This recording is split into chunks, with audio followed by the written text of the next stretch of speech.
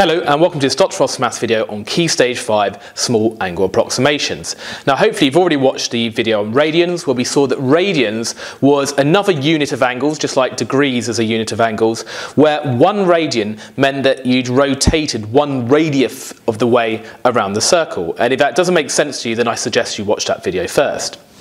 Now one thing we can do with radians is to find the approximate value of trigonometric expressions when we know that angle theta is really small. And that's absolutely critical uh, for when we're differentiating and integrating using trigonometric functions because the proofs by first principle for these depend on these small angle approximations. So let's see how it works. Let's suppose that we had a sector here and we also had this triangle here. And let's suppose that we had this angle here at the centre of the circle of theta. And let's also assume that theta is really small. Now what we're going to do is to compare the area of this triangle here and this whole sector here. Now if theta was really small, if I was to draw that much smaller, like a little thin slice, can you see that the area of the triangle there is pretty much equal to the area of the sector there?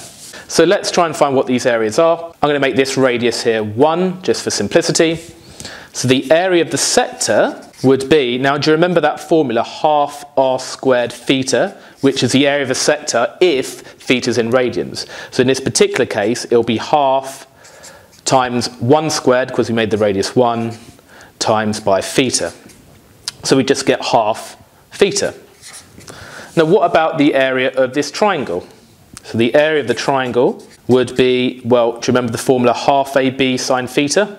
And this formula is still applicable when theta is in radians, it doesn't change. So we're going to do half times one of these sides, 1, times the other side, that will also be 1, times by the sine of the angle between them, the included angle as we call it. So that just simplifies to half sine theta. But as we saw from this diagram here, where theta was really small, the area of the triangle is approximately equal to the area of the sector. We can see that the difference between them is only this tiny little segment here, which is almost zero if theta is small.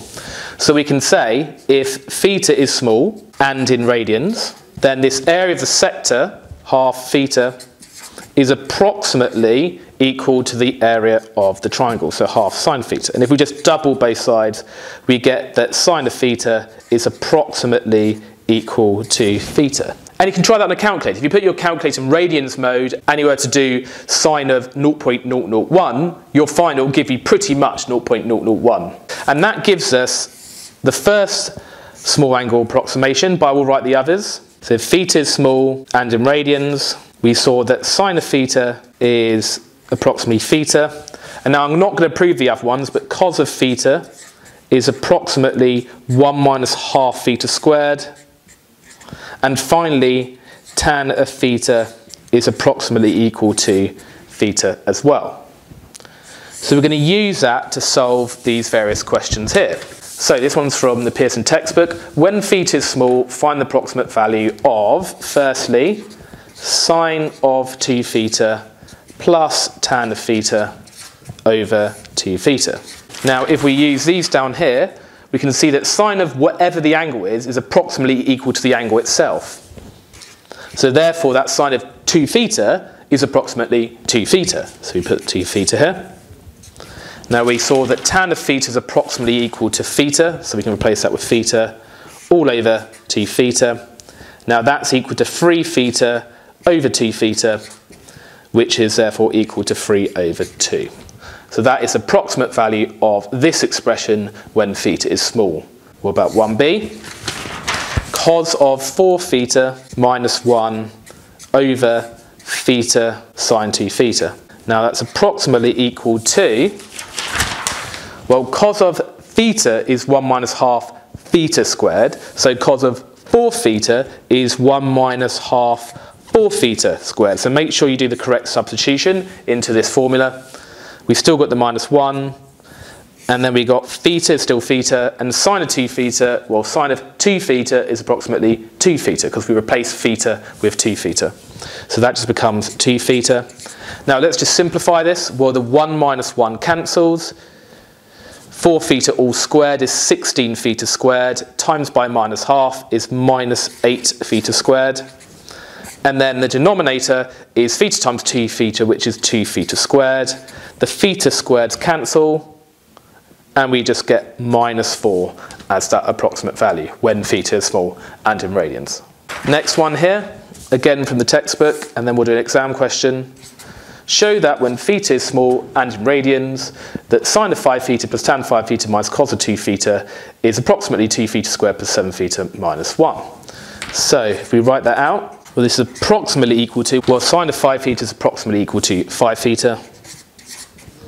Tan of 5 theta, well, tan of theta is approximately theta, so tan of 5 theta is approximately 5 theta. And then minus, and let's be careful, so I'm going to put brackets here, cos of 2 theta is approximately 1 minus half 2 theta squared. So 1 minus half 2 theta squared. I've been very careful with brackets. Now this is equal to 10 theta minus 1, and then it's going to be plus, because you've got minus minus. Now 2 theta squared is 4 theta squared, but we're halving it, so it's plus 2 theta squared. Apologies, I've realised that should be 2 theta, so that should be 2 theta there, and then that will be 7 theta. And that's indeed what we were trying to prove, that we get 2 theta squared plus 7 theta minus 1. Now part B is it wants us to approximate this further. So hence state the approximate value of this for small values of theta. Well, if theta is really super small, then a small number squared is going to be even smaller. So that's effectively negligible.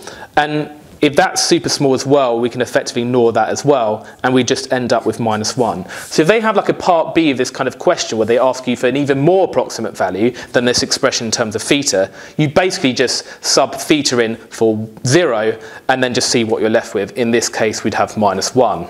And then just finally this exam question here, but you can see it's very similar to question 1b here. We've got 1 minus cos of 4 theta over 2 theta sine 3 theta. So we have 1 minus, now remember cos of 4 theta is 1 minus half 4 theta squared as per the formula. We got 2 theta, the theta just stays as theta, and sine of 3 theta is approximately 3 theta.